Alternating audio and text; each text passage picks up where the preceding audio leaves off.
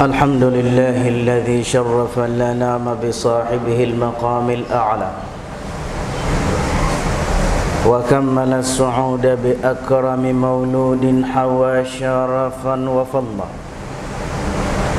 وشرف به الآباء والجدود ملع الوجود بوجوده عدلا حملته أمه آمنة فلم تجد لحمله ألما ولا ثقلا. وأشهد أن لا إله إلا الله وحده لا شريك له. وأشهد أن سيدنا محمدا عبده ورسوله. بعث للتوحيد الكلمة ولكلمة التوحيد. فبلغ الرسالة وأدى الأمانة ونصح الأمة. ومحى الظلم وكشف الغمة وجاهد في الله حق جهاده حتى أتاه اليقين. والله ما خلق الإله ولا برى بشرا يرى كمحمد بين الورى. يا سيد العقلاء ويا خير الورى. ويا من أتيت إلى الحياة مبشرا. وبعثت بالقرآن فينا هاديا وطلعت في الأكوان بدرا نيرا. اللهم صل وسلم على سيدنا محمد طب القلوب وذوائها وعافية الأبدان وشفائها ونور الأبصار وضيائها وقوت الأرواح وغذائها.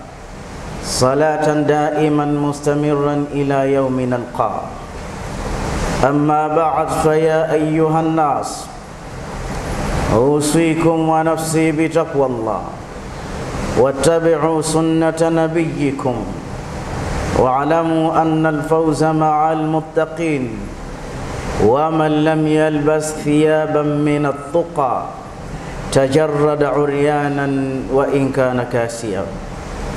Enyi ndugu Waislamu, nichukue fursa hii muhimu kukuhusieni nami pia kuhusia nafsi yangu kumwogopa Allah na kufuata mwendo na kutekeleza sunna za Bwana Mtume Muhammad.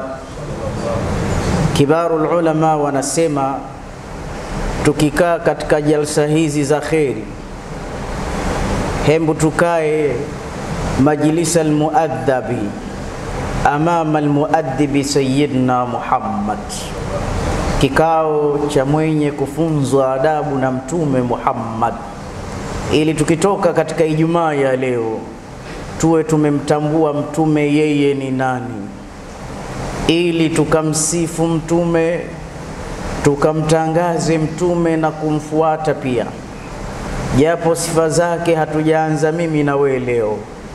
Alianza Maulana Jalla Jalal kwa kusema wa innaka la ala khuluqin adhim, hakika wewe Muhammad uko juu ya ubora wa tabia.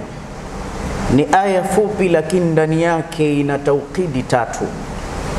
Wa innaka nun ya harfu tawqid, la ala lam ya harfu tawqid, aladhim na ile sifa ya mwisho kusisitiza masala hayo hayo, tauqidatun nathqalu min aljibali fi ayatin wahid. Leo sipo kuelezea khulqu za Bwana Mtume, lakini tutaichambua hadithi moja aliyosema ma nahala walidun an walidihi min husni lkhuluq, hamjamzawadia mzazi mtoto wake gifti nzuri, hadia nzuri, zawadi nzuri kama kumfundisha tabia iliyokuwa njema kabisa. Na jawaz na pasipoti ya mtume wa umma huu ni akhlaki njema.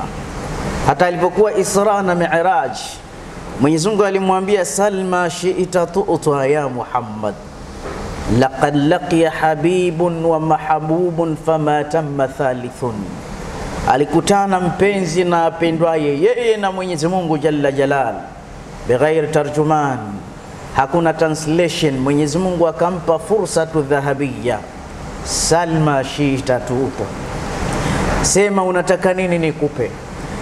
Mtume akaeleza mengi waliopewa wenzi wake, umemfanya fulani hivi, nabii fulani umempa vile, hata sioni cha kuomba ya Rahman. Mwenyezi Mungu akamtajia mambo mengi sana. Huoni kwamba mimi nimekupa mengi zaidi ya wenzio? alam nashraka laka sadrak, alam nashraha laka sadrak, tayari nimekunjua kifua chako. warafa'na laka dhikraka, nikanyanyua utajo wako, nikakupa sab'u mathani, nikakupa hivi. Mwisho akamwambia nikakupa utakaso ulimwengu mzima kwa kukuambia wa innaka la ala khuluqin adhim, ama wewe una akhlaki njema. Abdallah bin Mas'ud wakati anamuuliza mama Aisha, kaifa khuluqun nabiy, tabia zake mtume zilikuwaje? Akaambia, amma la taqra'u alquran, kwani wewe husomi msaafu, wewe huisomi Qurani? Basi kana khuluquhu kalquran, kana khuluquhu alquran kalqurani yamshi baina nnasi wayatufu fi laswaq. aswaq. Ukitaka kuzijua tabia za mtume, wallahi tabia zake zote ni Qurani.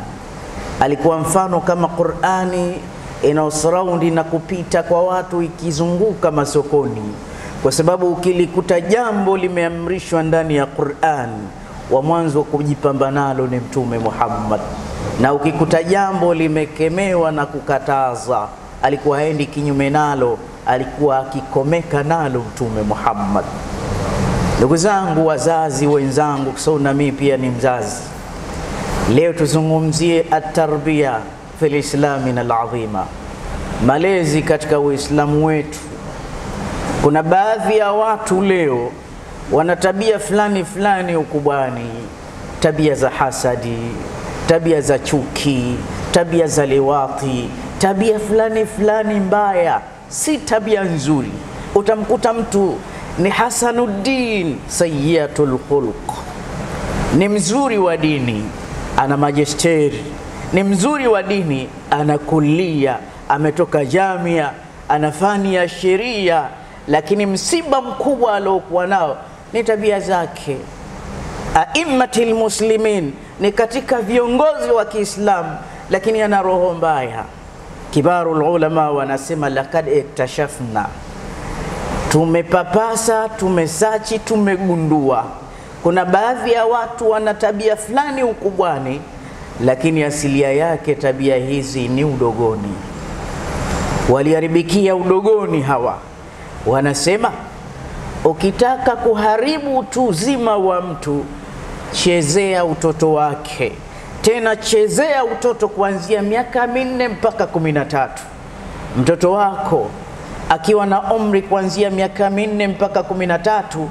Hichi ni kipindi muhimu sana cha kumtizama mtoto wako, sio wa kumwachia na kila mtu tu anayetaka amchukue. Tizama anacheza wapi, anakaa wapi. Mara nyingi maisha aliopitia hapa katikati ndo maisha atakayokuishi nayo ukubwani. Ndugu yangu Mwislamu, tambua vitu vinne ni muhimu sana katika maisha yako na vitu hivi vinne, nenda kwa mrorongo, vinaanza A, B, C na D. Basi na wewe vifuatishe, usianze kinyume mbele, utavuruga. Jambo la mwanzo la kuliweka mbele kuliko chochote katika ulimwengu, Allahu wa rasuluhu sallallahu alayhi wasallam, Mwenyezi Mungu na mtume mweke mbali, mweke mbele kuliko kitu chengine chochote. Jambo la pili, ndugu yangu mpenzi msikilizaji, ni familia yako, ni mwenza wako, ni mke wako, na kama ni mke ni mume wake. Huyu ni mtu muhimu kuliko mwingine na mwingine. Utaniuliza kwa nini? Mke wangu atakuwa muhimu kuliko mtoto? Mke wangu atakuwa muhimu kuliko shekha wangu? Mke wangu ata... kwa sababu mke wako huyu mke ni abiria ambaye hashuki njiani.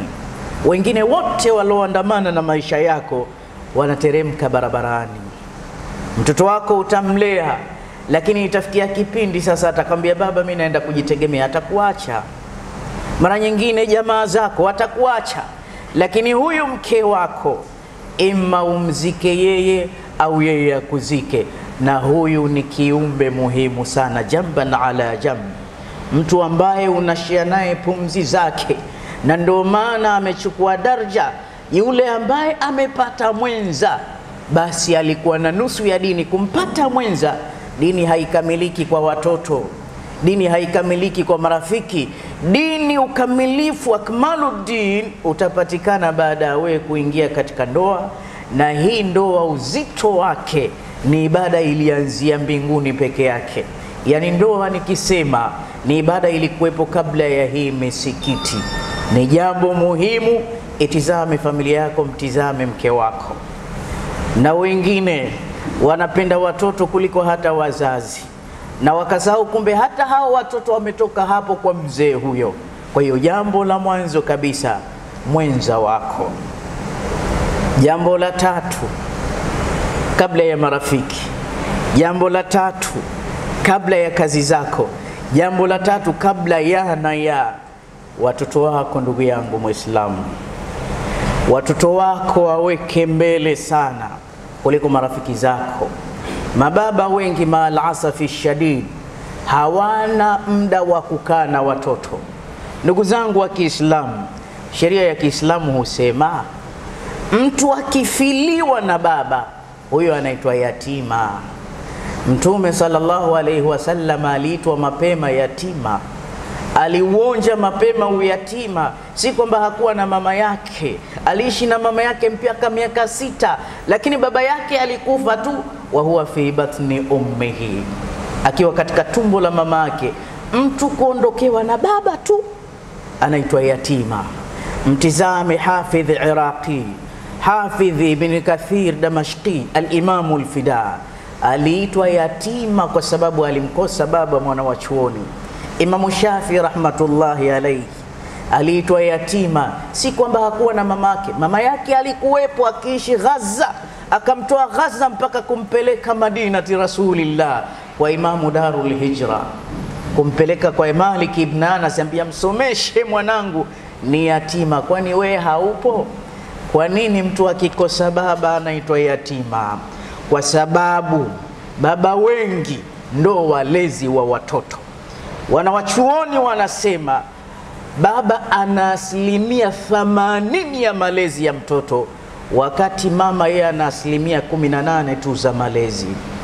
Huyu mama huyu hawezi kumfanya huyo mtoto akawa baba wa sawa sawa, hawezi kumtoa mtoto wa kike akiwa sawa sawa, isipokuwa wewe ndo mlezi wa hali ya juu, una asilimia nyingi. Na wanawachuoni waliopita wote walikuwa wakilea kwa mikono yao watoto. Leo wazazi wengi hawana malezi na watoto, wakisikia malezi wanajua ni mama.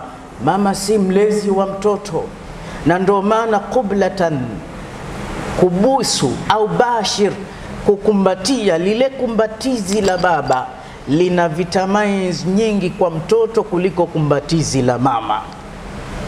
Lakini leo wazazi hao wa kiume hawana muda wa kukaa na watoto wao, wanawaachia mama zao, na hili ni kosa kubwa, kwa sababu watoto hawawezi wakakaa sawa. Katika saikolojia wanasema mtu yoyote yule ambaye amekuwa japo kisha kuwa mtu mzima, lakini hakuwahi kupata suhuba ya baba, pengine mamake alikuwa single mother, alithiliwa zamani au alitelekezwa mama yake, hakukuwa na baba huyu, wanasema ukubwani atakuwa na matatizo ya kisaikolojia, hata kama awe mtu mzima hawezi kuwa sawa. Fanya tafiti, mtu ambaye hakupata malezi ya baba hana ukamilifu wa sawa sawa kwa sababu amepata athari ya hali ya juu kabisa. Kwa hiyo jambo la tatu, familia yako, Allah Allah, baba, tizama watoto wako, waelimishe watoto wako, tenga muda na watoto wako. Watoto walivyo hawana haja na baba presidenti, hawana haja na baba yetu ni imamu, ni tajiri fulani. Watoto wanamtaka baba mlezi. Watoto wanapenda baba ambaye anatoa time na watoto wake. Akirudi pale nyumbani, afanye mchezo na watoto wake, amwambie yule mtoto wake Fatima, Fatima, tukimbizane, tujifiche, tucheze komborela. Kisha baba anamwambia Fatima, hunioni. Hicho ndo watoto wanachokipenda.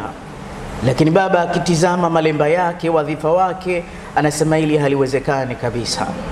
Siku miongoni mwa siku, mtoto mmoja alimuuliza baba yake, ewe baba, hembu nifanye nini mimi ili nikiwa mtu mzima baadaye niwe na sifa za kiume, sifa za urujula, Minalmuminina rijal, katika waumini wako vidume, niwe na sifa ya mwanaume wa sawa sawa, ili nikiwa mtu mzima babangu niitwe mwanaume hodari mahir.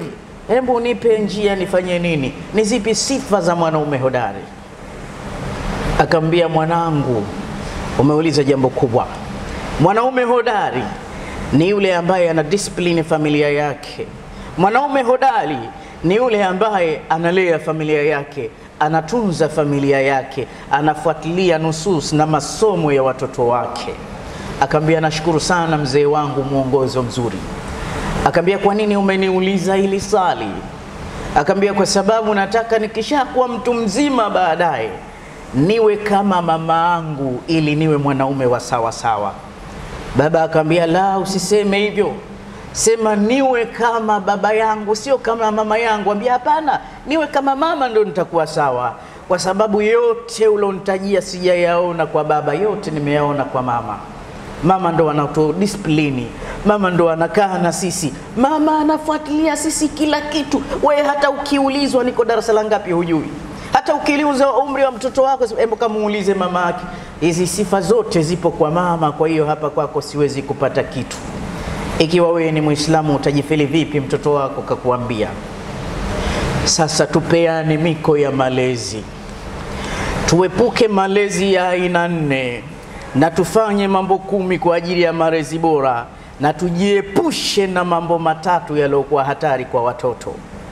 Jambo la mwanzo katika malezi ya kuepuka, ewe baba, epuka malezi ya kimabavu, isiwe ukali uliopitiliza. Kuna baadhi ya wazee ni wakali sana, ule ukali uliopitiliza, wanalea watoto wao kimabavu, na mpaka leo kuna watoto hawana mapenzi na watoto, na kuna watoto hawana mapenzi na wazazi wao, malezi mabaya ya kimabavu. Siku miongoni mwa siku alitutembelea mama mmoja akiwa anataka fatwa, ahitaji counseling ya maisha yake, lakini miongoni mwa simulizi alizozitoa alisema, ustadhi, mimi simpendi babangu mzazi, namchukia sana mzee wangu, na hata akifa leo uendi zika. Ambia sili na hata siendi zika, na ninamwomba Mwenyezi Mungu ampeleke motoni mzee huyu. Kwa nini unafanya hivi mama yangu? Akasema, nilivyokuwa mdogo mzee wangu alinilea, alinilea malezi ya kikatili ya kimabavu. Kwanza kabisa alimpiga mama mbele yangu. Mke haonywi mbele ya watu. Katika haki sita za mwanamke, Mtume anasema usimuonye, usimkemee, usimkaripie, usimpige mbele za watu mke wako. Alidondosha machozi ya mama yangu, alikuwa akimpiga mama. Mimi nasoma kitu gani?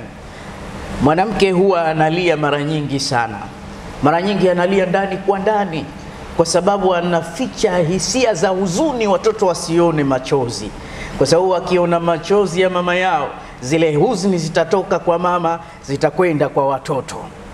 Lakini ukimwona mwanamke kalia mpaka nje, ujue ashalia ndani muda mrefu mpaka machozi. Kwa hiyo alikuwa akimpiga mama yangu mbele yangu, akimnyanyasa mbele yangu baba huyu lakini baya zaidi akamwambia mama angu, hata huyu mtoto umenibambikia si damu yangu, na huyu binti huyu ajali yake itakuwa mikononi mwangu.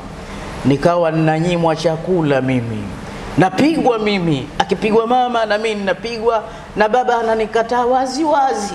Hapo ipo chini ya umri wa miaka minne, ikabidi ninyimwe chakula tena. Akirudi anavizia hajala huyu Mama ni mama, hata kama hana maana. Mamangu hakukubali nikose chakula. Nyumbani kwetu tulikuwa tukifuga mbwa, annajasata mughalladha, yule mwenye najisi nzito, hatahiriki mpaka saba ghasalat, ihdahunna biturabi, mamangu akaniambia kuna mataa, kuna beseni la mbwa analokula, anachukua chakula kwa siri, anaenda kuniwekea kwenye kibanda cha mbwa, kisha anaambia mwanangu Khadija, eh, jitahidi wahi, mbwa asije akamaliza, nenda kale na mbwa. Akirudi baba, kala wapi leo huyu? Ambia hata hajala, labda alitoroka kwa majirani. Anasema alikuwa anakula na mbwa mpaka amekuwa umri huyu. Huyu anawezaje kumpenda baba huyu? Ndugu yangu Mwislamu, malezi ya kimabavu yaache. Ukali uliopitiliza unamharibu mtoto, unamwathiri sana mtoto wako kisaikolojia. Malezi mengine mabaya ya kuepukana nayo ni malezi ya kuwaumiza watoto hisia zao. Kuna baadhi ya wazee wana mambo ya ajabu, wanafanya vitu vibaya hata bila kujali hisia za watoto wadogo. Unamwathiri kiasi kikubwa sana mtoto wako. Wako baadhi ya kina mama single mother, kishaachwa na mume wake, anaingiza bwana ndani na mtoto anaona, na akihoja ambia we koma, baba yako kishantelekeza hapa, utakula nini wewe? Alhurra tamutu juan wala takul bithadiyaiha. Mtoto huyo anaingia machuadi, anaona mama yake anakwenda kuziniwa. Unaumiza hisia za mtoto, hawezi kukupenda. Angalia, yupo kaka mmoja alisema naye anamchukia baba yake. Kwa nini unamchukia baba? Asema nilivyokuwa mdogo nilikuwa na matatizo ya kukojoa kitandani. Haya ni maradhi. Mara nyingine alikuwa akinipiga sana baba yangu, akiniadhibu lakini mimi sitaki kukojoa, na kila nikitaimu ule muda lazima nikojoe na lazima nipigwe. Akawaambia wadogo zangu, hakuna kulala naye huyu, na ilo godoro hicho chumba hakuna kulianika wala msifungue madirisha. Chumba kikawa kinatoa harufu usiku. Mtoto bila kujali afya yake ambia nenda kalale kikojozi wewe. Yuko darasa la tatu, siku amekwenda shule, baba kisirani alokosa malezi akaenda kulibeba lile godoro mpaka shuleni, watu wakiwa katika mistari shuleni, watoto karibia mia mbili. Amebeba godoro jeusi linatoa harufu, watu wote, mahadhihi jifa, harufu gani hii jamani? Kisha anauliza yule mzee, samani mwalimu, nimekuja bila taarifa, naomba unitolee mwenye godoro hili nani? Mwenye godoro hili apite mbele, namtaka huyo hapa, pita mbele.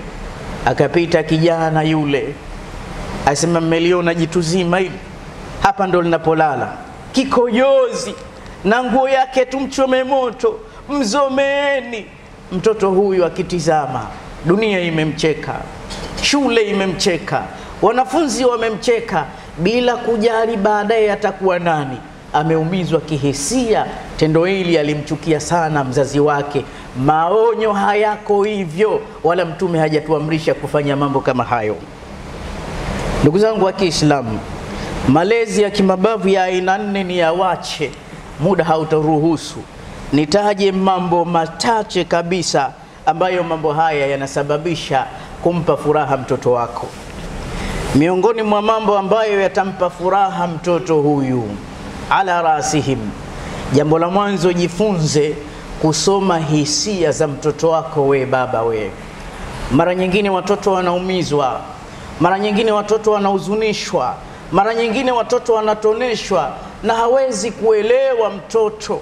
Muulize mtoto wako, mtizame, leo mtoto wangu hayuko sawa. Mara nyingine watoto wamechezewa, ndio hiyo umri ninaosema kumi na nne mpaka mimi nilifanya safari, nilikwenda nchi ya Kenya nilipata mhadhara kidogo, nikazungumza malezi kwa upana ya watoto katika holi. Mtu mmoja, wala si mtuhumu kwa ukweli wake, akasema, ustadhi, haya mambo kuanzia miaka minne mpaka kumi na tatu mimi ameniathiri. Nilikuwa nikienda madrasa, mwalimu ananifanyia vitendo viovu vya liwati mwanaume mimi. Leo niko na mke, bado tabia hizi za kishoga zinanyemelea. Kaumizwa mtoto mdogo, athari kubwa hii. Jitahidi wewe baba, we kusoma hisia za mtoto wako. Leo mtoto wangu kafurahi, ana nini? Amehuzunika, ana nini? Muda na watoto huna, una mida ya mipira, una mida ya kahawa, una mida ya vikao vya kaa chini na mtoto wako. Tizame binti yako, watoto ni Zahara. Abdallah bin Omar anasema watoto ni maua yetu. Soma hisia zake, atakuwa na furaha. Mkuze awe na furaha, aje kuleta mtu mkubwa baadaye mwenye furaha. Ukiyafanya mambo haya, mtoto wako atakuwa very happy siku zote, atakuwa na saada, atakuwa na furaha mtoto huyu, na akili zake zitazidi mtoto huyu. Kwa hiyo jambo la mwanzo muhimu, soma hisia zake. Jambo la pili muhimu kwa mtoto wako, usimpe sheria nyingi kuliko umri wake. Kuna watoto wana sheria hawana hata kurelax. Umerudi shule, kajisomee, nishajisomea, kafue nguo za shule, nishafua, kalale, hana hata muda. Huyu mtoto simpe sheria nyingi. Hata Mtume anasema watoto wenyewe waanze, murubna akum li sab'in wadhribuhum bi'ashr Anzeni kuwaamrisha kuswali miaka saba, usimpige usimfokee, msubiri akifika miaka kumi. Hapo ndo bakora inasimama. Leo kitoto kina miaka sita, utaka kisali tarawehe zote, na sipoweza anapigwa mikwaji mtoto. Kweli ni kheri, lakini unakosea. Na ndio maana ukifanya uchunguzi, wale wasomi watoto wao hawawi kama wao, wana waovadozi, wana waovadozi mpaka watoto wanachanganikiwa. Usimpe sheria nyingi kuliko umri wake, vitu vinakuja taratibu. Kitu cha tatu juu ya mtoto wako, mpe uhuru wa kucheza, mpe uhuru wa kucheza. Michezo kwa watoto inaongeza uwezo wa akili. Ukimwona mtoto ameshuka sebuleni pale, tumetandika vitambaa vizuri, anaanza kuvyaragua, kama haina madhara, ni kweli anaongeza kazi, mwache achezee. Michezo kwa watoto ni kitu muhimu. Akishika vitu ambavyo havitomdhuru mwachie, sio akishika limo tu hey, acha acha acha acha, mwache mtoto. Maisha magumu, lakini ukiwa na uwezo, mnulie gari, mnunulie baskeli, mnunulie mipira, mpe mtoto wako uhuru wa kucheza. Lakini jambo jingine muhimu sana, baada ya kumpa uhuru wa kucheza mtoto wako, pia mpe fursa ya kuonesha kipaji chake mtoto wako. Hakuna aliozaliwa mtupu tu, hana mbele wala nyuma. Mpe fursa hii, mtizame mtoto wako akiwaona watu gani anafurahi, akiwaona mashekhe wa mawaidha. Mbona vipo vitoto vidogo unakuta kinamwiga shekhe fulani, ujue hii ndo talanta yake, sio umbeze. Ndo unafanya nini? Nenda kule. Hapana, mfuatilie mtoto wako, atakuwa nani baadaye. Wakiwezeshwa wanakuja kuwa watu wakubwa baadaye. Usiwadhulumu watoto wako. Baba, rudi nyumbani Angalia talanta ya mtoto wako, ni kitu muhimu sana. Jambo jingine muhimu, jali kwa mtoto usingizi wake na chakula chake. Chakula kwa mtoto na usingizi ni tiba. Mida mwashapewa uhuru wa kucheza, isiwe ndo weekend, leo Saturday on Sunday atizame TV mpaka saa nane za usiku. La, tizama mtoto wako kalaje, mara nyingine mlishe, na ndo Uislamu. Ndugu zangu wa Kiislamu, mambo ni mengi sana na wakati wetu ushakuwa mfinyu tayari, lakini niseme jambo moja tu au mawili tu na nitakoma hapo insha Allah. Maredhi, malezi ambayo unaweza ukashinda ukashika bakora kumwonya mtoto wako ni maredhi, ni malezi yafuatayo. Bakora haisimami kila pahala. Mtoto wako akiwa na tabia ya kukasirika kivitendo hapo bakora isimame. Luqman al-Hakim anasema bakora kwa mtoto ni sawa na mbolea katika bustani. Ukimwona mtoto wako anakasirika kivitendo, mzazi usione la kawaida, muonye. Kuna mtoto akikasirika mpaka atupe simu avunje, mpaka ajipige ukutani, na wewe unasifu kwa sababu hujui ana hasira huyu huyu kabla hajapiga kitu. Hili ulama wanasema ni athari mbaya. Ukimwacha na tabia hii mtoto ukubwani, kama nilivyosema mwanzo, kuna watu wana tabia fulani ukubwani, lakini ukichunguza asilia yake ni hapa udogoni. Akiwa mtu mzima ndo wale wanaopigana kwenye daladala dakika mbili. Akiwa mtu mzima ndo yule anayeua bila kukusudia. Wako baadhi ya wanawake kisa umeongeza mke wa pili, hasira yake anavunja televisheni, anavunja kioo cha gari, na wewe unasifu ana wivu. Wivu sio kufanya israfu, tabia za udogoni hizi. Asiwe ana tabia, ya kukasirika kivitendo. Ukimwona na tabia hiyo, muonye. Kwa nini unafanya hasira? Yuko zaidi yako, yuko baba. Hili ni jambo muhimu sana. Jambo la pili muhimu la bakora kwa mtoto Jitahidi asiwe na lugha za kuumiza, mfundishe asiwe na lugha za kuumiza. Usimfundishe ukamwambia nitie dada, yule ni ndugu yetu, baadaye atakuja kuacha kazi, atakuja na familia yake, atamwita kwa lugha za kuumiza. Lakini jambo la mwisho ambalo nsiongeze, ambalo bakora inafaa kwa mtoto, mtoto wako akizungumza jambo la uongo mwambie mtoto wako, nyumba hii ni marufuku mama kana kuzungumza uongo. Asiongee uongo hata iwe vipi. Mtoto wako akizungumza uongo, ajue nyumba hii balaa lake kubwa. Mtoto wako amekosa Maana Kuna baadhi ya vitoto viongo, yani analia mpaka unamwamini kwamba huyu ni mkweli, mpaka analia. Akiongea uongo, bakora ifanye kazi, mwite na kuambia umempiga mdogo wako, hujampiga. Sijampiga, mwambie wallahi inna sidqa yunji. Mtume anasema ukweli unaokoa. anzimil lhaq, kuwa mkweli mwanangu. Alhaqu yalu wala yula alaihi, ukweli una nguvu, ni jina la Mwenyezi Mungu. hakun, walkadhibatu yuhlik, uongo unaangamiza. Hivi sasa ukiniambia uongo nitakupiga, lakini ukiniambia ukweli mimi nakuacha. Unakuta mtoto anaogopa, anakuambia ukweli, kweli baba, niliiba nyama mbili kwenye sufuria. Kesha kuambia ukweli, unampiga mara mbili. Unamfundisha nini huyu? Ashakuambia ukweli, muache huyo, hawezi kuwa mkweli maishani. Wanasema ukimwona baba na mama wanapiga ngoma, usiwalaumu watoto kucheza.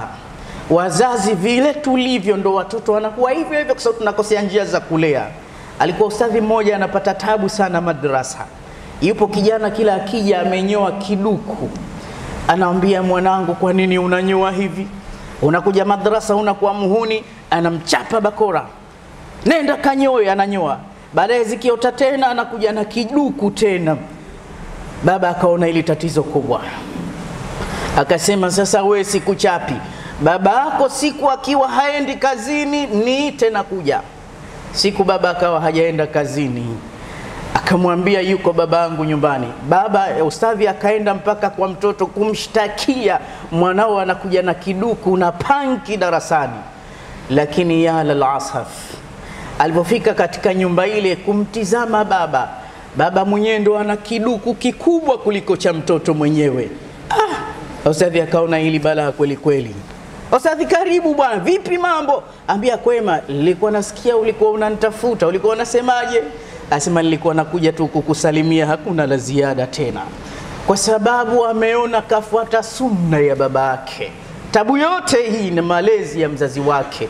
Mtoto wako sio wako peke yako, ni wa jamii nzima mlete mtoto mwenye furaha, awe mtu mzima baadaye mwenye furaha. Mtanisamehe sana kwa dakika mbili nilizoziiba, nami nikome hapa. Waqala azza min qailin alim fa idha qara'ta alqur'ana fasta'id billahi minash shaitani rajim a'udhu billahi minash shaitani rajim bismillahir rahmanir rahim inna a'tainaka al-kawthar فصل لربك وانحر. إن شانئك هو الأبتر. بارك الله لي ولكم بالقرآن العظيم ونفعني وإياكم بالآيات والذكر الحكيم. أقول قولي هذا واستغفر الله لي ولكم فاستغفروه إنه هو الغفور الرحيم وهو البر الكريم.